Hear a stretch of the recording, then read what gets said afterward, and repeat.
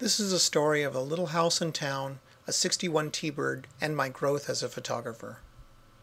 I came across this little house a couple years ago and was talking with the owner. It'd be such a great house to shoot someday if I can think of a good concept. Later, two years or so, I came across this 1961 T-Bird in a local museum and got permission to use it in my little photograph. It was such a great looking car. It's sort of super futuristic retro from the 60s, sort of the idea that in the future we'd all be flying around with jetpacks. My wife and nephew helped me put the shot together. And what I wound up doing is putting this car in the front yard of this house and trying to create a scene which is difficult to describe other than you'll have to see what's coming. Over multiple exposures at night with large flashlights, I would light different parts of the car the hood, the door, I generally start from the center top and work outward. It's really easy to get confused about what I'm painting with light when, and I often have people spot me after several hundred photographs. It's, it's not unusual to forget that I did or did not shoot something, and I need a second pair of eyes to kind of say, hey, you forgot a piece there or here. What I'll do is I'll try to light every little element in the scene. In this case, the car is critical. So I'll start with the car, then I'll work down to the grass and light different elements. I'll often skim or bounce or reflect. I'm trying to do the lighting that's appropriate for whatever material and subject it is playing with. I also include shadows and details to help people understand what's going on.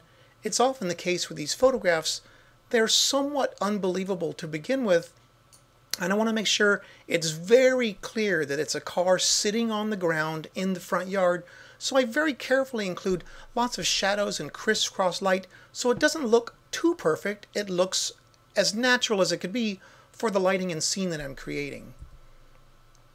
I often include little details of colors and lights. I'm trying to almost make a poetic interpretation of the real scene that does, does exist. And in this case, the car and the house did exist for this photograph. The story I have in my mind's eye is the idea of a dad coming home to his wife. Nothing special, nothing fancy. With the inclusion of the rocket ship tricycle and the hula hoops on the ground, I'm implying children. I'm also lighting the inside of the house too to make it look indeed like a normal house where just regular people live.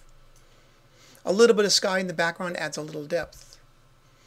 Ultimately, when I add the guy, I'm very careful to put him into the shot. You can see the first half of the lighting on him and the second half, it really builds up a sense of depth and layering. And it's not by accident that you can see the light on his hand is a little bit bright. We'll get back to that in a second. Secondly, his wife just standing at the front door waiting for him to come home, I think is very charming, and there's a little bit of somewhat dramatic lighting on the ground with shadows. Ultimately, when the photograph is said and done, I think it's very quiet it's nothing happening special. There's no wild movements or strong actions. It's just a photograph of dad coming home to his wife, and I think it's beautiful in that. When you look a little closer, you can see, as I mentioned before, the lighting on the gentleman's hand, it's a little bit too bright, and it's almost like a magician with misdirection. I like people to look at that part of the photograph and think, hey, that's a little bit too bright, as opposed to thinking, he's not even there to begin with. I'm trying to kind of draw your eye away from what is indeed going on. It's neat when you look really, really close at these digital files. In this case, I'm using a Canon EOS 1 DS Mark II, I believe, for this particular photograph. I upgraded to the Mark III.